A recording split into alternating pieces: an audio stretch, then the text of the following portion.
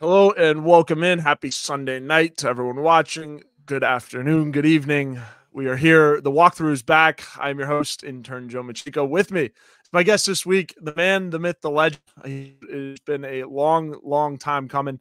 Mr. Elijah Campbell of 1075 The Game. Elijah, how are we doing this fine Sunday evening? Oh, sir, I am fantastic. This is a it's a good day for sports talk because you know the weather wasn't like wasn't great today, and you got to sit inside for a little bit. You know, I've been chill, just chilling here, doing a bunch of laundry, watching the NBA and Stanley Cup playoffs, uh, kind of flipping back and forth between both, and kind of digesting all that we saw uh, yesterday. I did I did the whole you know South Carolina Saturday. My dad came in town from Tennessee for for the weekend, we got tickets to the baseball game, so we got to watch that. And then we went over to Willie B for the spring game last night and got to digest it a little bit. That was his first interaction, actually, his first his wow. uh, first experience in a SEC stadium that's not Neyland Stadium. Like he's born and raised, wow. you know, lived all of his entire life in East Tennessee. Yeah. So he got to experience Willie B for the first time. He gave it two thumbs up. I, th- I think he had a really good time. So we uh we, we got to digest a ton of South Carolina athletics this weekend. That's awesome. Sounds like an awesome trip for Papa Campbell making the trip down here. Yeah. That's great. Uh, did you guys hit up the baseball game on Friday night? Uh, not Friday night. Actually, I took him to Village Idiot on Friday night, and oh yeah, I, I was like, if I'm going to take you anywhere here in town, you know, it's got to be to where you know my favorite pizza place is. We're big, big, big pizza lovers, so he got oh, to uh to get indoctrinized by what like you know the, the Church of Village Idiot and Brian Glenn. So it was uh, that that was a blast. But we ended up listening to a lot of it. You know, on the we drove around town a little bit. I was showing him some stuff, but we got to uh, got to listen on the radio to a, a, whole lot of strikeouts and a whole lot of Hagen Smith doing Hagen Smith stuff. But so we consumed it, but we didn't go to it on Friday. Night. Absolutely, definitely, definitely. Yeah, well, we'll definitely break it all down here. Um, but I did want to. We'll start with the spring game, right? Spring football for South Carolina. Um, capping off in a pretty good way, as you mentioned, Elijah. The mm-hmm. atmosphere at Col- or at uh, excuse me, Williams. I'm still Colonial Life. Oh my gosh. Um, no, School season's not been over for long, so I don't blame you. Don't I know, blame you. Don't I know. I'm I'm very slowly thawing out from, winter the spring, so I apologize. No, the the atmosphere at Williams Brice was great. Um, the atmospheres at Founders Park, um, you know, all weekend was was fantastic. I was there on Friday night. Um, and again, we'll get to baseball, but appreciate everyone tuning in. Um, but yeah, starting with the spring game, Elijah, just right off the bat, uh, I did want to ask who stood out to you, right? Because the spring game, it's not really a complete kind of game, mm-hmm. but just right off the bat, I mean, who who stood out the most? I want to say Dylan Stewart. Uh, we're just watching that game. Like, there's a few positions on the field where you know you can't go. I don't want to say give 100% effort, but you can't exactly simulate like a Saturday night in the fall, right? Quarterback's mm-hmm. one of them because you know as big as Norris Sellers is, there are a couple times that were called sacked just because he got touched, even though in a real football game, you know, he could probably evade that, you know. So evaluating that can be pretty tough. But I was talking to Langston Moore on the show on Friday, you know, former former Gamecock defensive lineman, it played in the NFL, and he said, you know, in a spring game, even if it's a spring game, as a lineman, you know, it's kind of like being pregnant. You're not half pregnant or kind of pregnant. You are or you're not. So you're either playing football or you're not playing football on the line of scrimmage. So I, I took that, you know, as it is, and Dylan Stewart was able to get in the backfield a ton. He's one of those guys too you hear so much about because of his demeanor.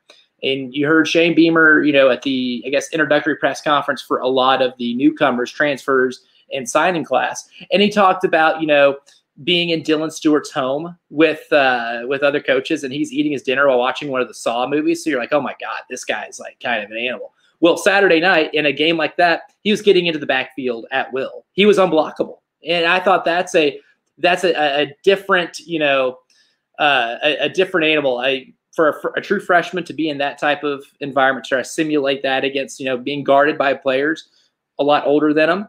I think he's got a head start. I think he absolutely looked the part of a five star freshman, and it was a whole lot of fun to get to see him kind of just do whatever he wanted off the edge. He, he's one of those guys that you hear a ton about when he was playing high school ball.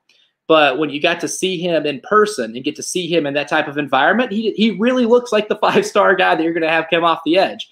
I think that is a great sign for South Carolina. It's one of those things while watching, you know, it was it was uh, refreshing to see somebody not have to go through, I guess, maybe a, a freshman struggle. Because I mean, that honestly, throughout the entire game, I thought the most physically imposing player was Dylan Stewart, and I think that's a, an incredible sign for this yeah. defense moving forward. And that edge position is going to be a fun position battle to watch whenever we do get to fall uh, practices, even though there's more like August, like summer practices. But once we get to that, it's going to be fun to see exactly who's going to be paired on the other side of the edge with him because I truly believe yeah. it'll be Dylan Stewart to start the season.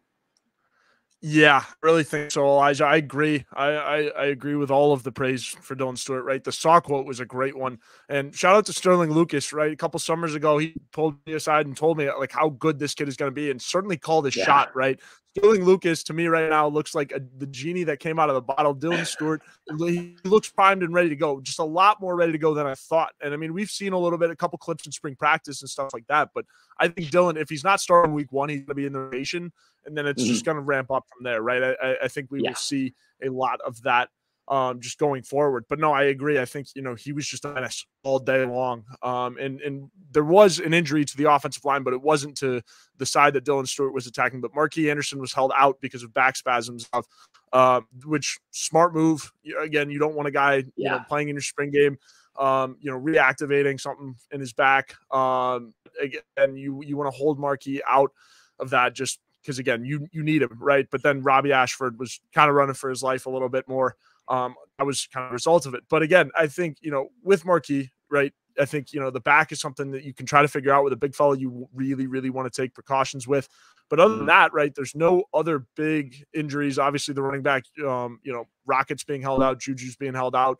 Um, but I, I, think other than uh, pretty pretty good. And then I, again, I think with Marquis, it's just going to be you know something that you just monitor towards the summer. He's big fella, so it could be something to watch. But I, I just I don't I don't think it's going to be that big of a, a question heading into summer camp. Yeah, and I think that uh, the biggest takeaway too is you left without any serious injuries, back spasms. You know, yeah. it's one of those things like rest it, big man, rest it, rest it. It's not worth yeah. re-aggravating it in a spring game in which I don't know if you're going to be able to show that much more to your coaches than what you've already shown in the 14 spring practices leading to it. So yeah, like laying him out is the best thing to do. Even with the running backs, I'm not concerned about you know Rocket's health. I think he'll be I think he'll be ready by the time that you know fall camp rolls around and you know, I, it's it's one of those things too that the spring game's fun because it, it kind of quenches our thirst for football a little bit. I know it did mine. I mean, I got really excited watching LaNorris Sellers run for a touchdown, even though I know he can't actually be touched by a defensive player.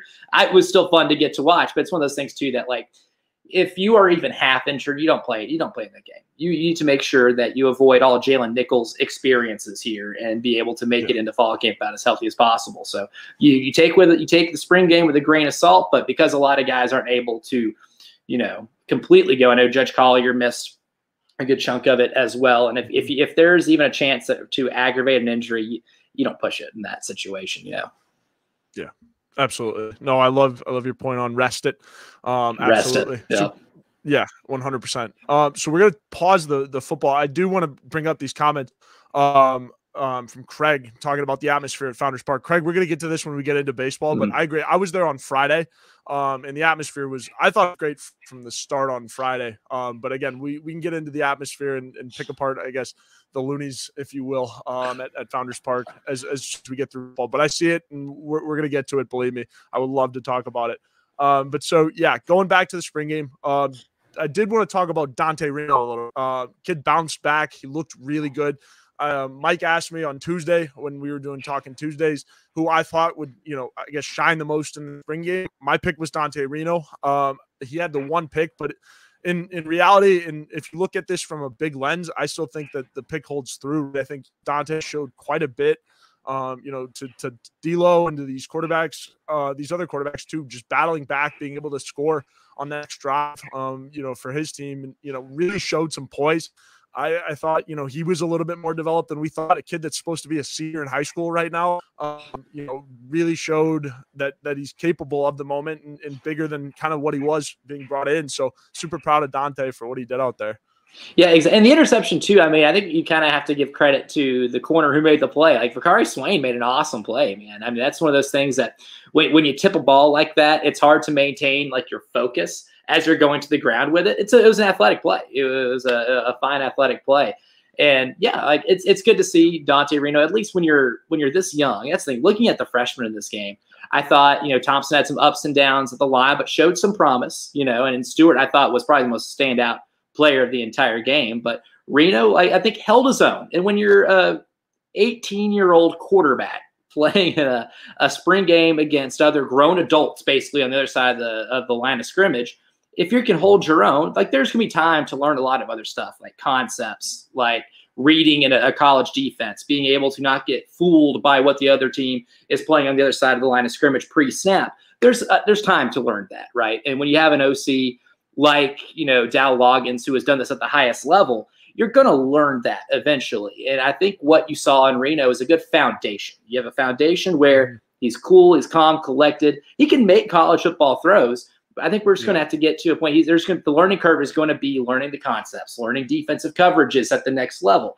which isn't out of the realm of possibility for him to even learn quickly. It's but it's good to see exactly that there is at least a foundation of being a solid quarterback, you know, for the future. Yeah.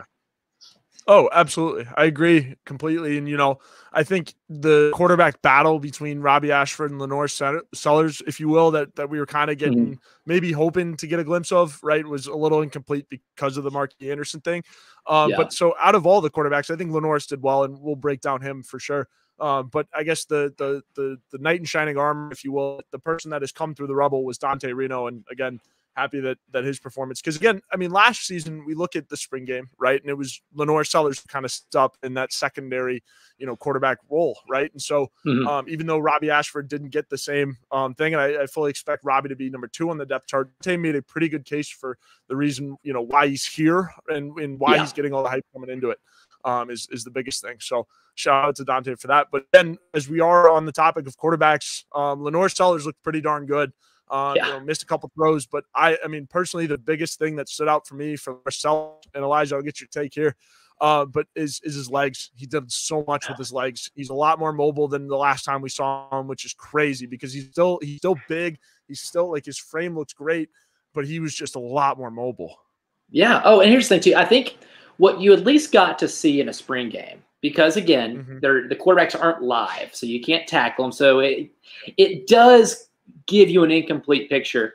But what I really liked seeing from from LaNorris was his ability to understand when the pocket's collapsing and when the pressure's coming and where it's coming from. Here's the thing: a lot of quarterbacks have that peripheral view of you know that pressure is coming, but not all of them know the angle where it's coming from. He slipped out of a bad pocket a few times, and on the touchdown run, he saw the pressure is coming from the outside because you know Josiah had Kyle Kennard down on the down on the ground, uh, closer to about like you know the left side of his hip, and he took off the other way. And I, I think that's something that if you're going to be a starting quarterback in the SEC, you're going to see mixtures of blitzes. You're going to see different, you know, uh, all all types of different looks, and the pocket's going to break down. Even if you have a really good offensive line, there are enough good defensive lines in the SEC that you're going to see, including ones at LSU, including ones at Ole Miss, who I don't know if you noticed, just completely re rechange their defensive roster in the transfer portal with all SEC caliber players. That pocket's going to collapse from different angles. And if you're LaNorris Sellers and you're that you're that big, you are that fast, and you are that gifted athletically, one of the things that's hard for a lot of players like that to be able to pick up is the sense of pressure knowing where uh, the pocket's breaking down and being able to run. So what makes Lamar Jackson so good, right? There are a lot of quarterbacks who are as athletic as Lamar Jackson, but not many have that pro- pocket presence to know that if you know your pressure breaks down, uh, your protection breaks down on certain sides of the line, where to find the hole, where to be able to you know exploit it for your you know your gain for a first down, knowing when to run, knowing when to pass, and knowing when the pocket is a complete waste. And I think LaNorris at least was able to show that even in like the tiny glimpse that we got to see, just because, like I said, quarterbacks aren't live. But I thought that was a that was a really good sign to be able to get to to see him understand when it's time to take off and run or when it's time to sit in the pocket, maybe try to break down the defense a little bit. When it comes to maybe pocket passing. We didn't get to learn a lot, but I liked how, you know, I think one thing we are going to see a lot that we saw in the spring game is the short, quick hitting passing game because you got a lot of quick athletic receivers. Gage Larvadain's one of those guys. Luke Doty, I think, plays really well in that five to 10 yard range. Uh, Jared Brown, the guy, certainly, I mean, this guy who's, you know, average depth of target was like five and a half yards at Coastal Carolina. You're going to see a lot of that, and I think he was really accurate in the short range, uh, short range where he can run like a West Coasty type of offense, and and feel pretty confident that he's going to be able to do what he needs to. So I thought that was when watching Sellers play, those were really the initial things that came to my mind. Yeah, absolutely. No, I love it, Elijah. And you know, the bucket presence, that's a great point because, yeah, he just looked comfortable. And mm-hmm. with the offensive line being as up and down as it has been, especially with what you saw last year, that's exactly what you want, right? That's the first quality after watching all of last season's tape, right? That's that's what mm-hmm. you would want of your quarterback, you know, coming into this year. And we we know how dynamic he is with arm um, and stuff like that. But um, I, I, still think Robbie Ashford has a has a shot to knock. I, I don't think the the conversation is over quite yet right? I right. still think he's, you know, and and from what we saw, again, it was it was a, a, piece of what it was because you know Marquis Anderson was out and he was essentially running for his life. Um, but so it, will be interesting. A lot of people brought up Luke Doty, um, won an award. I think it was a Spirit Award or Mr. Gamecock, Burley says, um, and certainly deserved it. Right, Luke Doty mm-hmm. is becoming the, I guess, captain, if you the de facto captain of this team um, whether you like it or not. Uh, you know, a kid really loves the state of South Carolina and really loves this program. I think, you know, he's exactly what you need to be in the foxhole with these receivers, right? Gage Larvadain, all these receivers. Um, and then you have a guy like Nyck Harbor coming up, and then you know you have the veteran piece. It's like the NBA locker room almost in that mm-hmm. wide receiver room. Yeah, it really is. And here's the thing about Luke that I really love is because he has that background as a quarterback, you know. So he's yeah, he, he knows right. exactly what a quarterback's looking for when you're running routes, where the ball's supposed to be placed. He knows where it's supposed to be placed, where it's taught to be placed. He's got a really good athletic base, and I think he runs routes pretty well, uh, especially for somebody who eh, maybe not be trained to be a wide receiver. He does run routes really well. And, you know, he's got that type of build. You know, I don't want to make a direct comparison, but if you watch how the Saints use Taysom Hill, I think you can really yeah. see a lot of Taysom Hill like stuff with Luke Doty. And it's not just because he's, you know, a, a big white wide receiver who used to play quarterback, but there is like a little bit of a shared skill set here that I think his background as a quarterback is going to help him a lot with. And my favorite thing about Luke Doty isn't just that, you know, positional versatility where he knows exactly what a wide receiver is looking for in a quarterback and vice versa, but he's been here the entire time that Shane Beamer's been here, right? Like he Shane after the game talked about some of the seniors they have that stayed. He's got about what four or five guys that are on this team that have been there ever since Shane got there, and that's been there the entire time. And I think one really, really big thing about that, why that's a huge plus, is that Luke Doty has seen a lot of change in this program. He, he knows exactly also what Shane wants in terms of building your culture to get it to where it needs to be to be successful. So having that that camaraderie, that you know, being on the same page with your coach like that, as a player who is so multi-positional and versatile and has the ear of the younger teammates, that's vital. Shane needs that. You know, Dowell needs that. Yeah. Uh, that. That that is probably one of the more valuable parts of Luke that might not be discussed as much. Yeah, and because you can be a player's coach all you want, right? But you mm-hmm. still need a player that's still in in touch and, and, still in the foxhole with those guys. So that's that's also a really really good point, Elijah. Uh, so I guess moving on from the wide receivers, a lot of talk about the tight ends. I was also impressed with the tight ends. Um, but Martin says Maurice Brown, Simon, Brady Hunt all made nice catch and runs, and then some mm-hmm love for the walk on tight end here um, from Craig as well. But I, I was also impressed with the tight end room. This tight end room, and I mean, uh, and I'll go as far as say the defensive end too. But something that that compares the two of them or binds the two of them is they look the part now, right? Josh Simon right. certainly looked the part. Trey Knox certainly looked the part, but across the board on on line, you you're starting to look the part, right? You you were at the point in in the Shane Beamer regime, right, where you're starting to get offensive linemen and defensive linemen and, and you know, just across the board on the line that look like linemen, right? Um, and I'm mm-hmm. not saying that any of the guys that were in here weren't, but you you you're just fully stocked in, in dudes that, that have the build of an SEC player. Um, but so uh, I, I, agree with Martin here. Give give the walk on tight end a scholarship. Absolutely, I'm with it. You need as much depth as you can get. But um, I thought Brady Hunt. I mean, in particular for for people that stood out, I, I think both your starting tight ends looked good. Brady Hunt, Josh mm-hmm. Simon. Uh, they're going to be a really dynamic duo um, come come summer, come come fall. So I was impressed with tight end play as well. Joe, I think the one player that I think I'm excited about him like the most on this offense is Josh Simon, and he got to he yeah. got to make it you know some nice moves once he got the ball in his hands, and that's what makes him so good, right? Like Josh Simon might not win mm-hmm. any awards for his route running.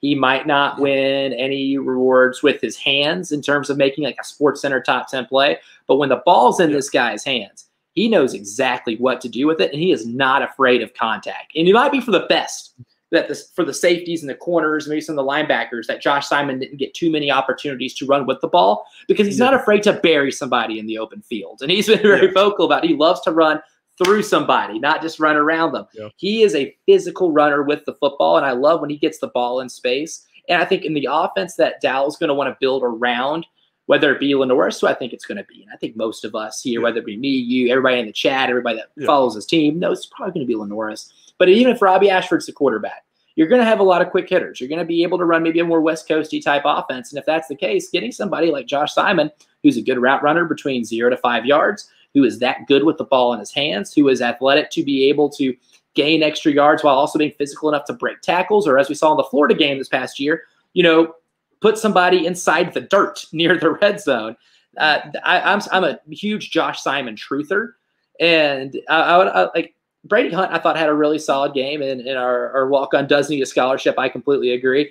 But uh, that, it all starts and ends with someone like Josh Simon, who I think is going to be seeing a big statistical uptick. Maybe not like Xavier Legette from 22 to 23, but we're going to see Josh Simon be able to put up some pretty fun numbers that it might not be as expected coming into the season. But I think he'll get it. I think he will. Yeah.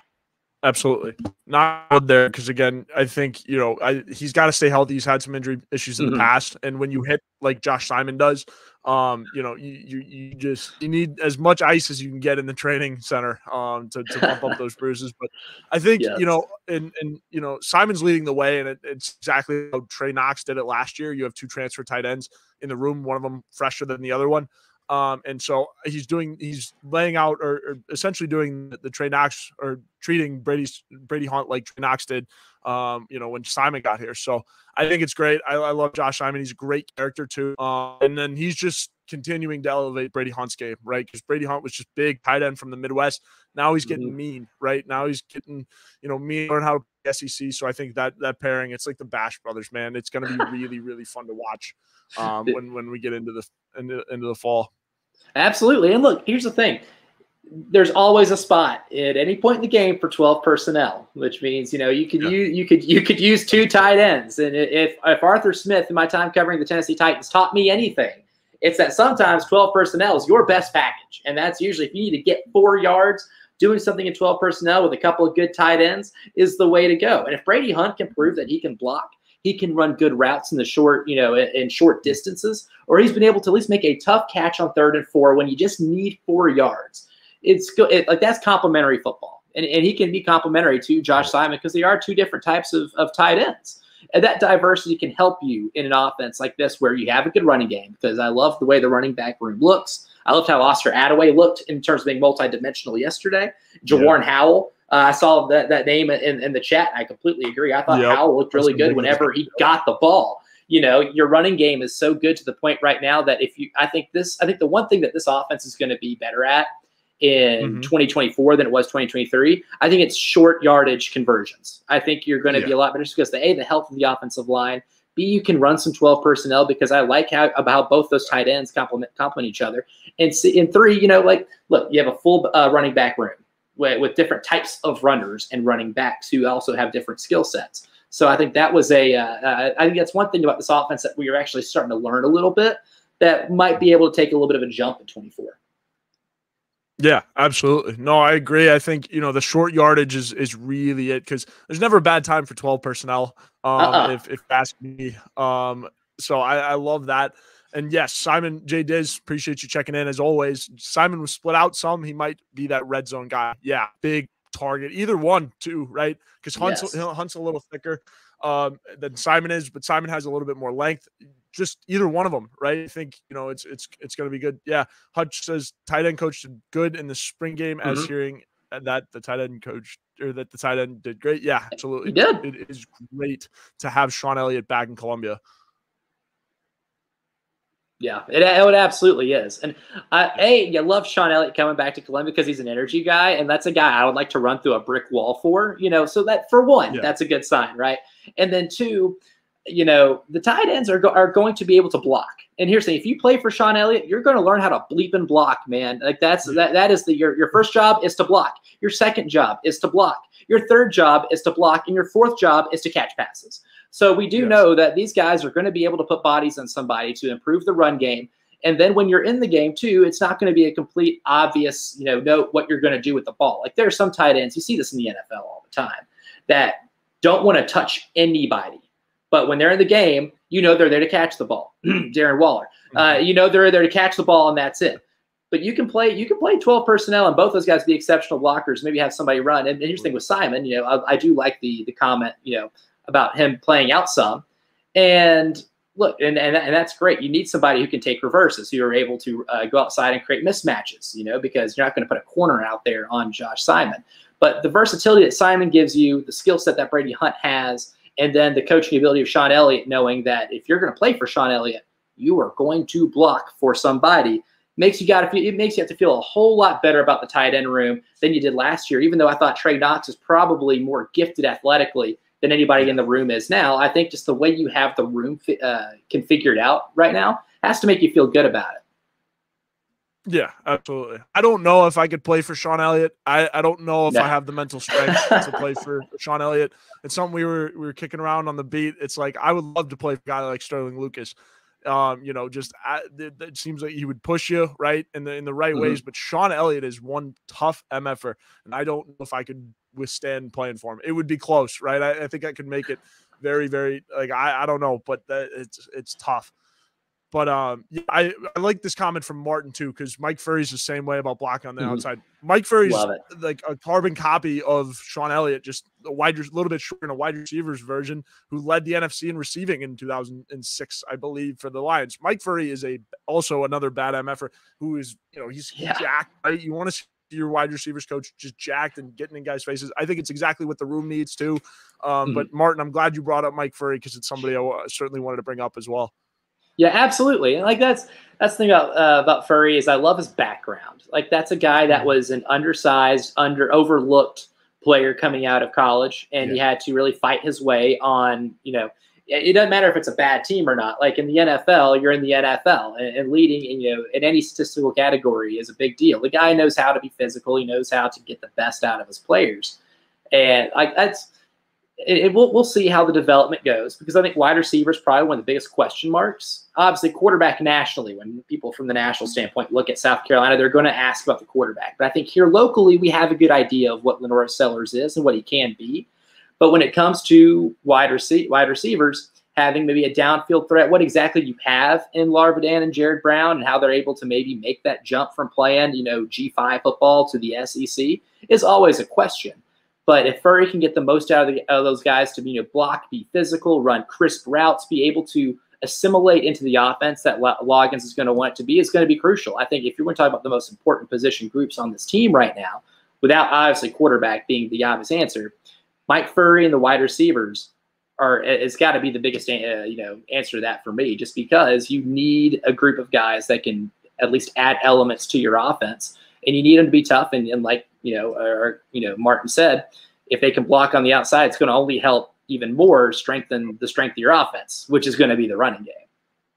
Yeah, absolutely. Which is crazy to sit here and say after watching all of the last two seasons. You've been abysmal in the run game for the last two years, but now, again, knock on wood, with everyone and, and healthy and everything like that. But um, now you look pretty good entering a, a, summer camp with you know a fully healthy running back room, or should be a fully healthy running back room when you get to summer camp.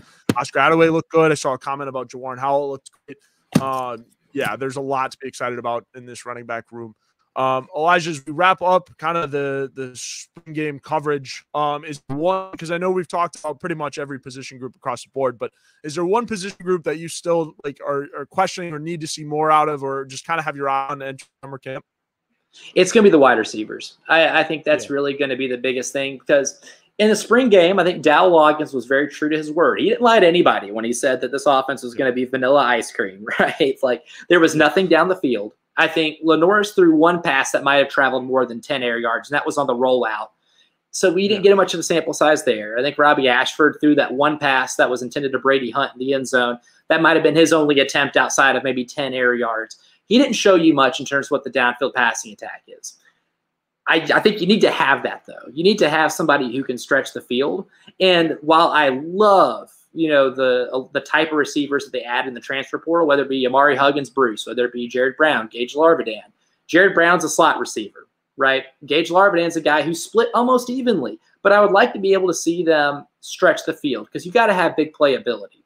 I don't know exactly what the stat is right now. That might be a summer project for me is to be able to find statistically mm-hmm. what how likely are you to win the game if you win the explosive play battle. So that's what over yeah. 15 yards of a pass play, over 10 yards on a run play.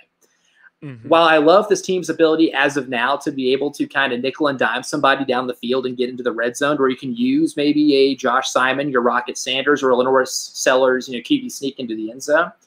Yeah, you got to be able to to beat someone over the head with a nine iron and make a really big play down the field with an outside receiver or you know maybe a running back in space. And that's the thing right now is I want to see who in this wide receiver room can get you that big play ability, right? Like the difference yeah. between South Carolina's offense being really bad and really good in this past year when you saw their Jekyll and Hydeness wasn't just the offensive line's ability to keep Spencer Rattler upright, but it was Xavier Legette's ability to be able to stretch the field and make teams have to respect the downfield threat.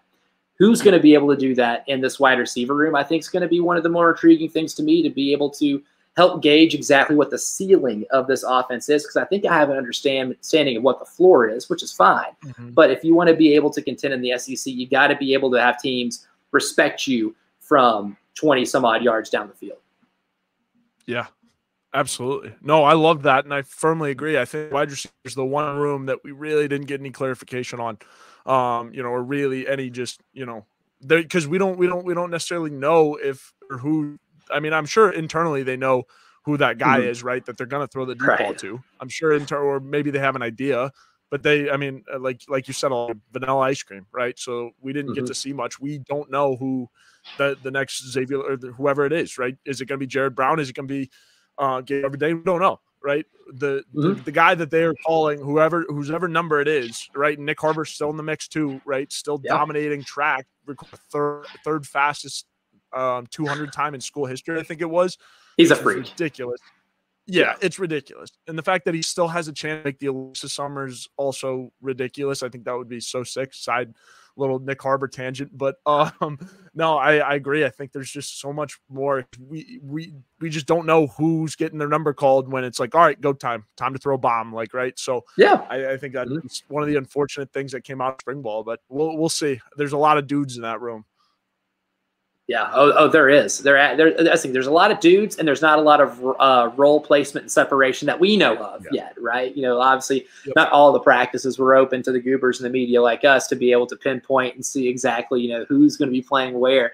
But that's going to be that's a big task for the summer for for Dow Loggains and the the offensive coaching staff is really figuring out who's this guy that we can trust with a pass down the field whenever the you know the box is loaded and we can get one on ones on the outside because you got to have somebody to be able to do that. Defenses have to be able to respect that element of your game, or else every team that goes into playing you is just going to load up that bleeping box and make you have to to make a play on the perimeter. I think Nyck Harbor can be that guy, uh, but then that's where the development's going to have to be seen. That's where Mike Furrey's job is. Uh, that's where he's going to earn his keep. Is going to earn that contract. Is to be able to get that type of development from somebody. And, and look, it might have even been hard to tell in the spring game because I thought the secondary did play really well. I know we have a comment here about you know the the pass breakup by Nick Emmanwori in the end zone at the very end of the first half, and that was my favorite play of the game. Uh, but like I thought the secondary played really well. But if we're going to see what this offense truly is, I think we got to be able to find out who's stretching the defense when we get into the season.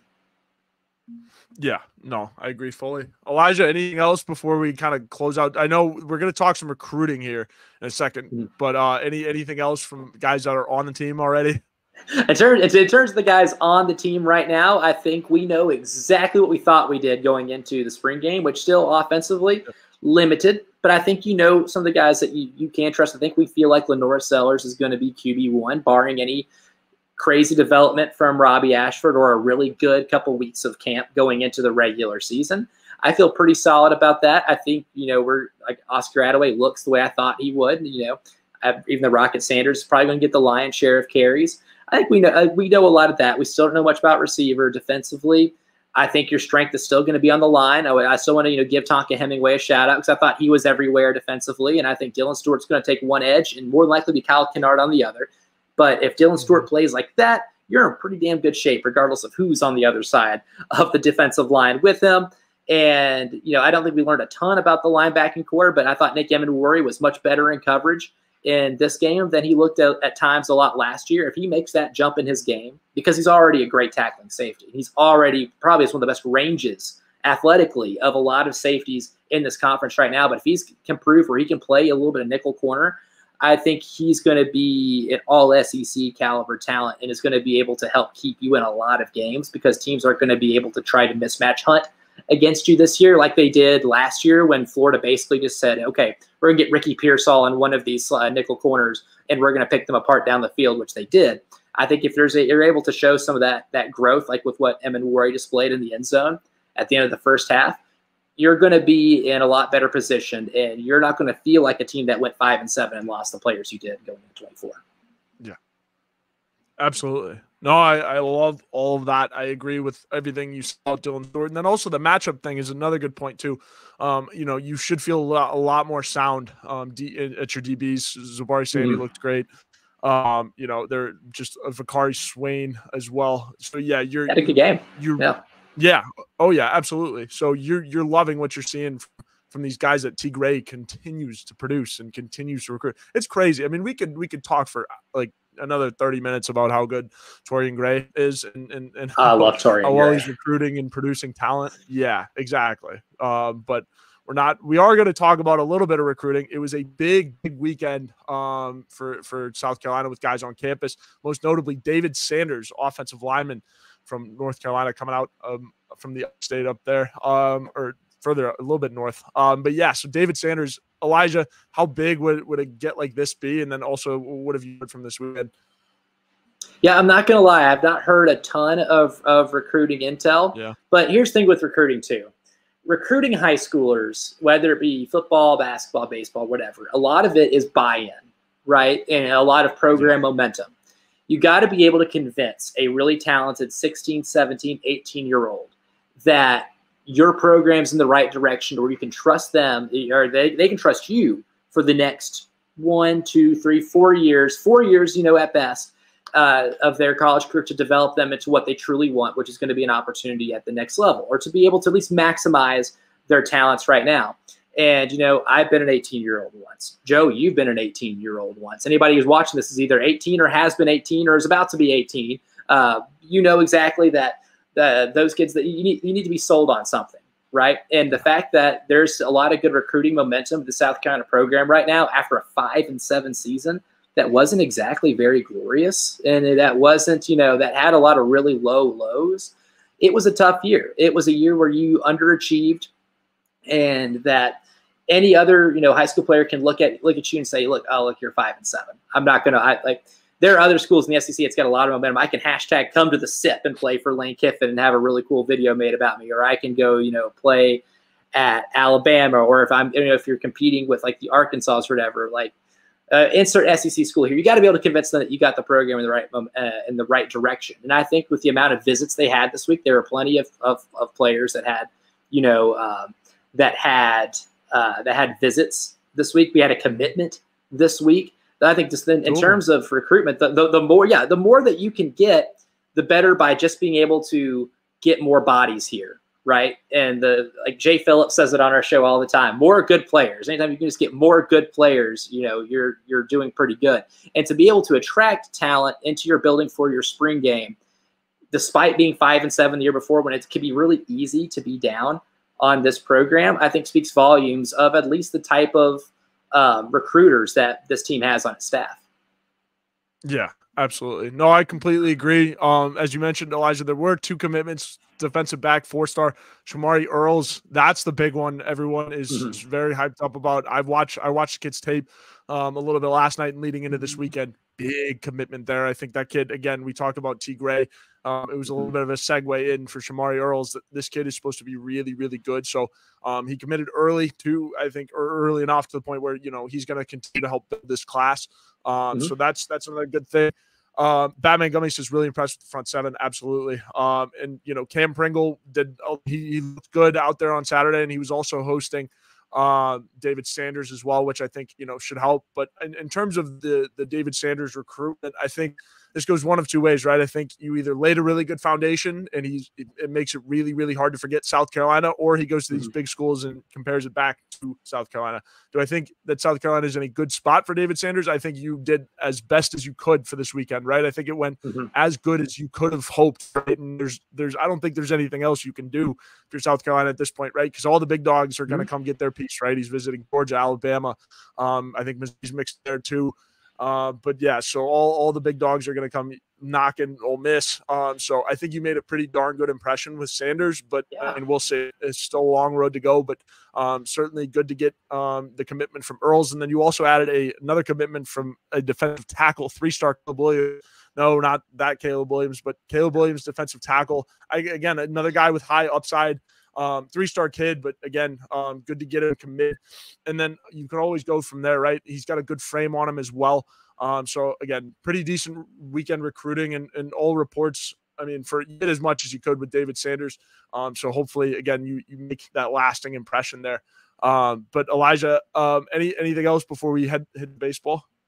I will say the one last thing for the players that did visit this week, South Carolina's got a lot of really cool recruiting advantages, and that's getting to hang out with Dawn Staley on the sideline, um, whose star as a person who's an absolute icon in her sport has never been higher. So you got her parading around on the sidelines. You have the South Carolina video team, which I think you can compare with almost anybody in the country with in terms of how they help production. Like, look, Saturday was a spring game. But it was really cool to hear, you know, to see the entrance, you know, to hear 2001, to hear Sandstorm all the time. For anybody who's coming to play there, that leaves a really good lasting impression. I can tell you right now, 18 year olds love that type of stuff. 18 year old me loved that type of stuff, enamored with that type of stuff in terms of presentation, in terms of, you know, momentum. Uh, it was, I was talking with my dad who was, I was there at the game, you know, with, and I was like, uh, my dad, you know, we watched that video presentation before the game started. My dad goes, "Wow, that was pretty impressive." I was like, "Yeah, you would never know this team went five and seven last year, right?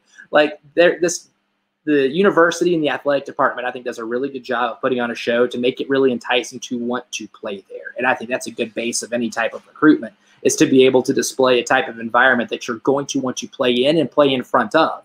And I think that that whole point was brought across really well, even for a spring game. So if there's anything that I think, you know, recruiting wise that you can take away from the players that got to make that visit, that's it. I think that's a really convincing pitch for a lot of players uh, to be able to want to play for you because, you know, no matter how much we get taken away from what we originally thought the fabric of college football was, uh, because of NIL or the transfer portal, one thing that's always going to be the same is the atmosphere. One thing that's always going to be the same is the the fan commitment to the cloth and the jersey and the helmet that's being worn. And I think you got a good feel of that on Saturday. Yeah, absolutely. No, I agree, and I think you know there. I saw a bunch of tweets with recruits just hanging out with Dawn Staley. Um, yeah. so that's certainly a big selling piece. Mm-hmm. I know Lamont was certainly t- sending his pitch to David Sanders, um, possibly another big man for Lamont in the future. Um, we shall see. Mike, Michael, yeah, and why not? Uh, Michael says Vicari Swain is going to be special. Absolutely, I agree. He also asked, I was wondering if the receivers couldn't get open or did our or did our QBs just want to run? I think it was more of the pocket presence, um, like a lot mentioned earlier. Um, you know, these guys are just wanted to take off, don't want to make the, the dumb decision in the spring game or like try to force something in the spring game. That is not the, the time for something. Uh, you know, you you can take more risks in the summer ball, but I think everyone was just being a little bit more conservative. Uh, William mm-hmm. says, except Tennessee, game winnable. Yeah, absolutely, absolutely. Um, so Elijah, transitioning into baseball a little bit. Uh, South Carolina, okay weekend. Uh, you know, you you you wound up losing the series to Arkansas, but uh, you know, you, you won. You took at least one game, which was big.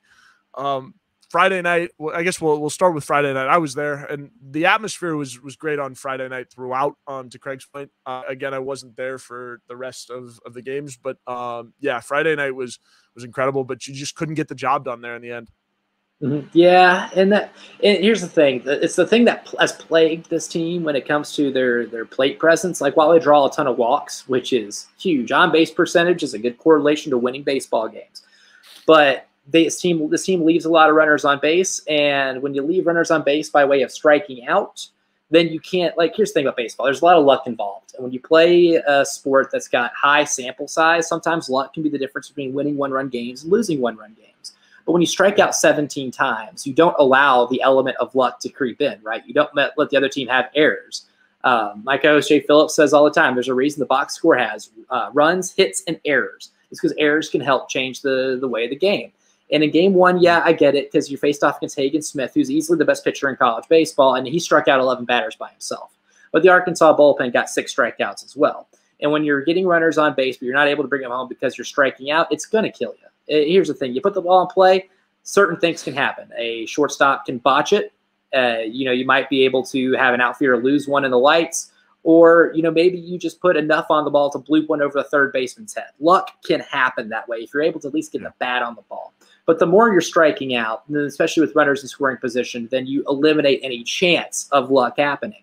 I think Friday was a big example of you got dominated by a really good pitching staff, and while you do a really good job of drawing walks as a as a hitting lineup, you can't have 17 strikeouts in a game and expect to beat anybody. And I think that was really where what really plagued them Friday night. I thought the pitching staff was good in terms of keeping them in check. Roman Kimball, in the limited time that we got to see him, pitched really well. And it's very unfortunate the thumb injury got him out early. But I thought Ty Good came in and, and was serviceable. And I thought everybody that came in and pitched was serviceable. Even if no one put it together any type of eye popping stat line, they were serviceable. And at this point in the season, I think we know who a lot of these guys are. None of them are going to win Cy Youngs in the future but you need them to be serviceable to be able to allow your hitters to win you games. And I think Friday night you were you had that. You had that in your pitching staff, but you're just not going to win games when you're striking out that many times. Yeah, most definitely. As one baseball question that was where was Dylan Brewer this weekend, uh, and that's a good point. AB Austin Brindling made the start um, center field. Brewer, I think, I think it was just a matter of giving AB a nod rather than Brewer being mm-hmm. out.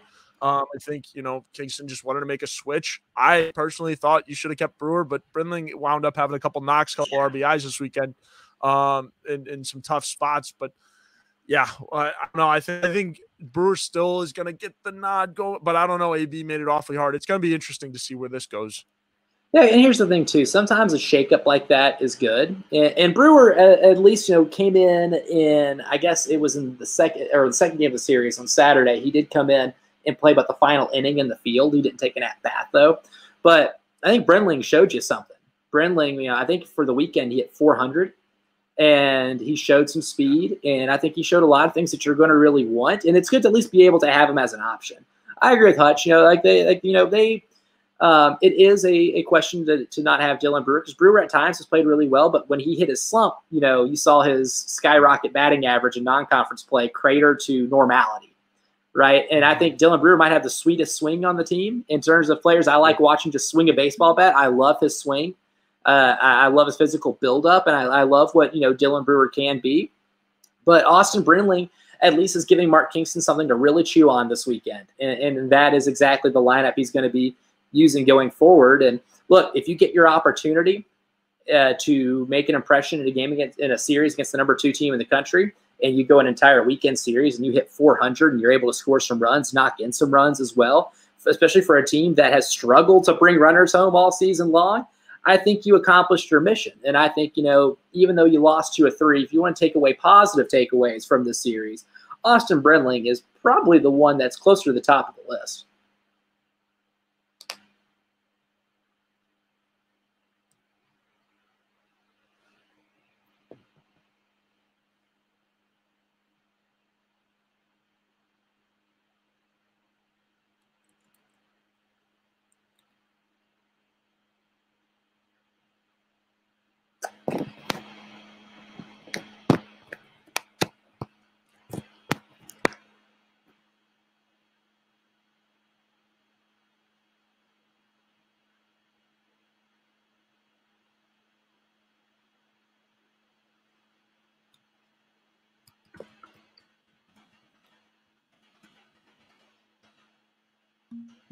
Yeah, sorry about oh, that. Oh no, sorry. There we go. My bad. No audio there. Yeah, apology.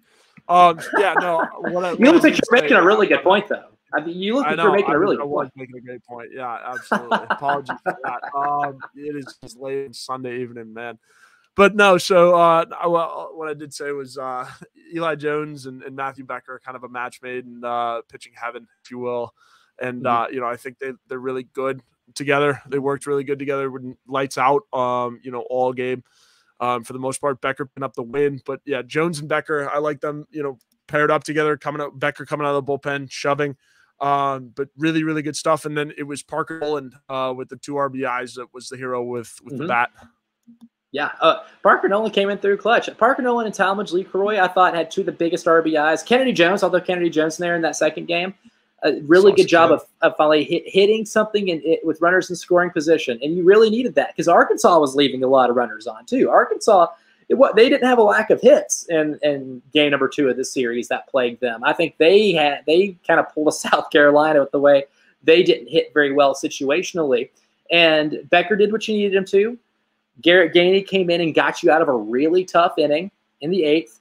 And Connor McCreary, to his credit, came in in the ninth and also a really tough situation, a situation where Arkansas could have taken the lead or tied and took care of business. And I think that's the biggest, that, that's a, a, big takeaway from the first game on Saturday was you were able to, to, to play good situational baseball.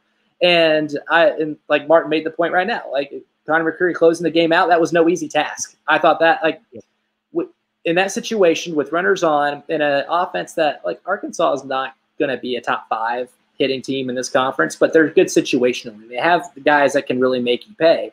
And McCreary came in in a high pressure spot and was able to close the deal. You need more guys like that. Gainey's kind of been that guy this year, and Gainey did the same thing in the eighth inning to yeah. get you out of a tough jam. I think, uh, or seventh or eighth inning to get you out of a tough jam. The more of those guys that you can trust in that position, the better. So I thought, you know, Saturday wasn't just a win in the win column, it's a win for your bullpen, and it was a win for some finally some situational hitting that was able to bring some runners home. And that's, you know, the good side. That's, you know, maybe uh, the Jekyll to the Hyde of this South Carolina team sometimes is, you know, you found some good role players to be able to pitch well at the bullpen. You got some players in the middle of your lineup to the end of your lineup that took care of business, even though Messina and Petry didn't really necessarily hit that well in the second game. Petry didn't hit well at all this weekend. He didn't hit anything this weekend. He went over 12. Yeah. But to get that type of production from the middle to bottom part of your order uh, really helps, really helps in a situation like that. And that helps you win games against, I don't know, the number two team in the country. Yeah, absolutely. No, and and like I mentioned when we first started talking about this baseball team, uh, this weekend, zero home runs.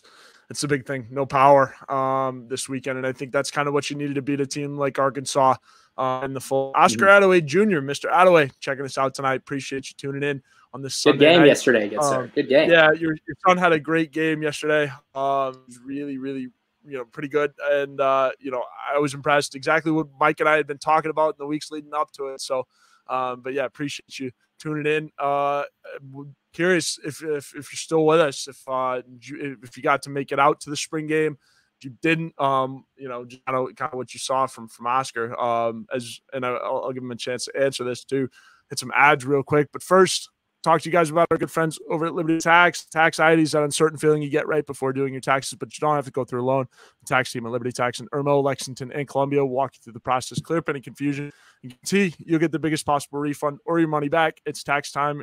If you're in a hurry for a refund, call them the tax team at Liberty Tax. They're fast, accurate, and guaranteed. On the other hand, if you think you might be owing Uncle Sam, talk to Liberty Tax Team to make sure you're not paying more than you should owe. They'll find every possible deduction for you. Locally owned and operated, staffed by tax professionals from your neighborhood. Open 9 to 9 weekdays and 9 to 5 on Saturdays with multiple service options.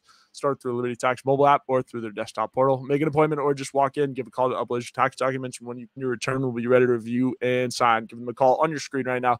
And for those listening, 803 462 5576. Once again, 803 462 5576 um, for all of your tax needs this tax season. And our other sponsor of the day is our friend Clint Hammond of the Movement Network.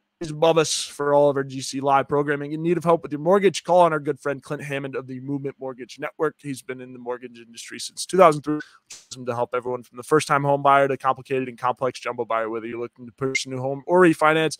Nothing is more important than a well thought out financial strategy that comes with five star customer service. He's even helped out our very own Wes Mitchell and former Gamecock quarterback Perry with, with their mortgages. So give our guy Clint a call. He's above us 803 771 6933. Once again, on your screen right now. And for those listening, 803 462, or sorry, 803 771 6933. Um, get back into it though.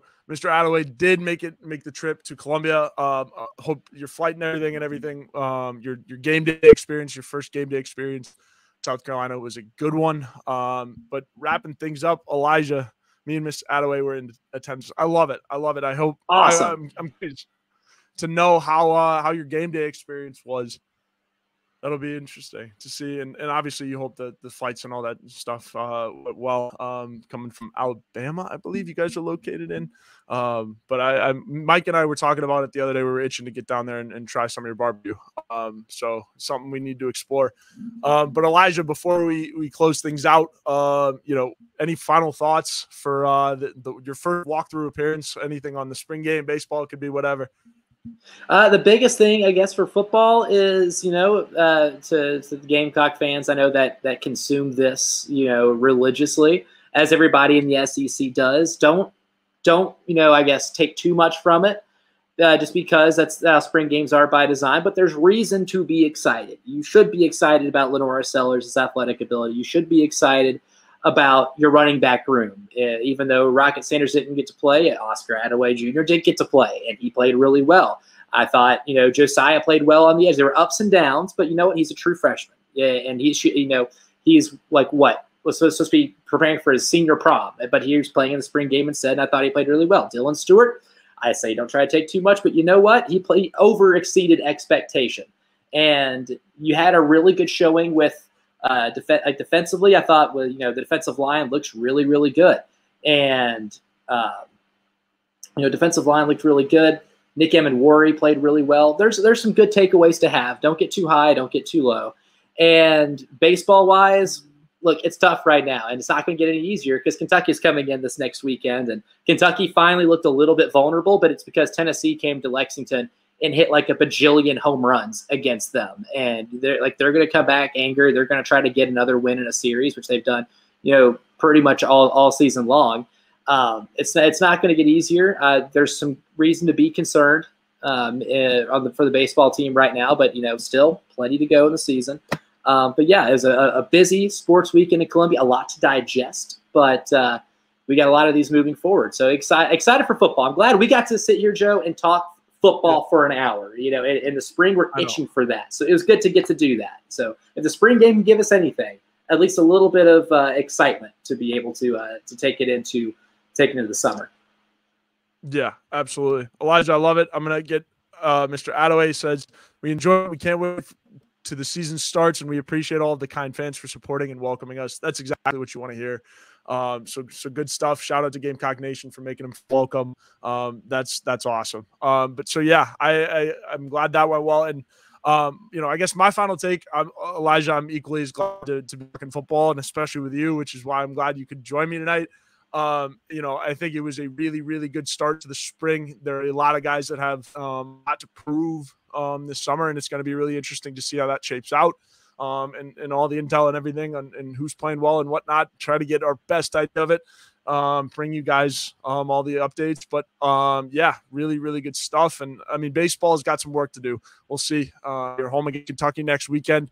There's nobody plays better at, at, Founders Park than South Carolina. So I think you know they they need one of those Vandy series against Kentucky, mm-hmm. and you know I they the leaders on this team didn't have the best of weekends. So I, I think that's I guess good for you, if you will um, because you know if anyone's going to turn team around, it's Cole Messina and Ethan Petry, right? I, those guys love baseball so much that like they're they're not going to let this season go completely down the drain. Um, so mm-hmm. Elijah, as, as I do with every guest, um, I'll let everyone plug where wherever you are at and everything. So, so tell the people you're out up to. Oh, absolutely. I, I, love nothing more than a good personal plug. But uh, th- hey, thanks for having me on. And uh, for everybody you know that might be inter- getting introduced to me right now, I host a show with Jay Phillips from three to six on 107.5 The Game uh, every Monday to Friday afternoon drive, and you can join us on our YouTube channel at The Game TV. Uh, so we, we post a lot of good video content on there and on Twitter at e underscore Campbell three. Uh, a lot of you know obnoxious basketball and college football takes there all the time. So always join me for the discourse, which I'm never uh, I'm never you know going to turn down um, and all that good stuff. Won't be on air, I guess, this week, Monday and Tuesday, taking a couple of days off and uh, relaxing a little bit, but we're getting right back to it Wednesday. But yeah, 1075 the game from 36. Myself and Jay Phillips, we try our best to put on a decent show to not bore you on your way home from work or school or wherever you're going from. And at E underscore Campbell 3 for all the goofy college athletics discourse on, uh, um, on Twitter. So, anywhere uh, there is good enough for me and look forward to uh, doing this again sometime and getting to interact with everybody that I got to interact with here in the chat and on this show. This is a, for my debut here on the show. I had a pretty good time. Uh, you know, 10 out of 10 would recommend.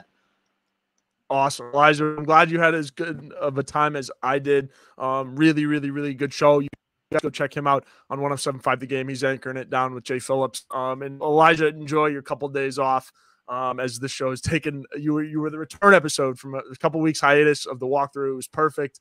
Um, so appreciate everyone tuning in tonight. It was a great episode again for all the discourse and everything. It was wonderful. Um, stay tuned this week. We've got plenty more on Gamecock Central. Like, subscribe, and then hit the bell icon um, in the corner when you do, and you will be notified every time we go live.